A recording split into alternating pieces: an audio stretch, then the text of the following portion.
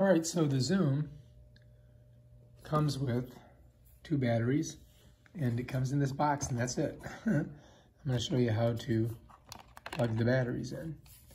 Just flip it over, pop it, opens up. And if you look inside, it tells you how to do it. And then it's got this little thing here that you lay the battery on so you can pull them out. And you can see that's the positive end. So you squeeze it in like that. Positive on this side. So you're gonna push that in there like that. And you just kind of fold that over. Grab your little cover, set her down, set her down on there, just like that. Just pop it over, bam, done. There you go, you're ready to go. And uh, all we gotta do is figure out how to use it now. and that is going to be the next videos. So that's your Zoom, that's how it comes. And that's how you put the batteries in.